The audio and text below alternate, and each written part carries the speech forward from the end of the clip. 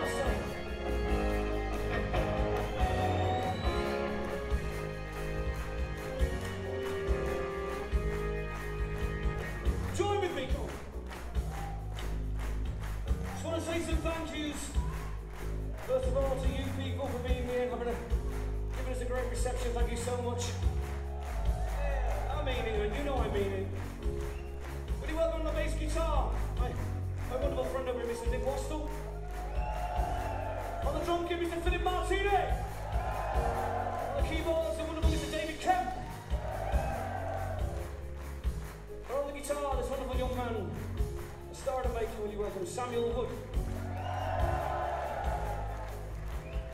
Thanks to the organisers for having us. Have a great fucking Christmas and we'll see you next year when the new record's available, okay? You've been amazing, thank you.